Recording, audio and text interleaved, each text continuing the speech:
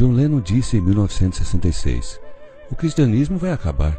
Jesus era legal, mas suas disciplinas são muito simples. Hoje, nós somos mais populares que Jesus Cristo. Lennon, depois de ter dito que os Beatles eram mais famosos que Jesus Cristo, recebeu cinco tiros de seu próprio fã e morreu.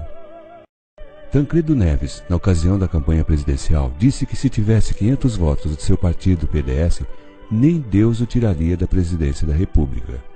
Os votos ele conseguiu, mas o trono lhe foi tirado um dia antes de tomar posse. Cazuza, em um show no Canecão, no Rio de Janeiro, deu um trago e um cigarro de maconha.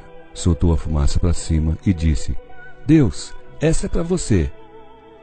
Nem é preciso dizer em qual situação morreu este homem. Marilyn Monroe foi visitada por Billy Graham, um pregador do Evangelho, durante a apresentação de um show. Porém, ela, depois de ouvir a mensagem do Evangelho, disse: Não preciso do seu Jesus. Uma semana depois, foi encontrada morta em seu apartamento. Bon Scott, ex-vocalista do conjunto ACDC, cantava no ano de 1979 uma música com a seguinte frase: Don't stop me, I'm going down on the way, all the highway to hell. Não me impeça,